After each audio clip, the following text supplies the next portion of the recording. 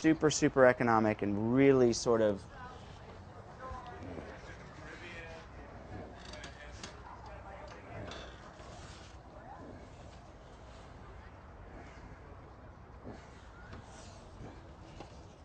a quadruped like this and with with um, gorillas.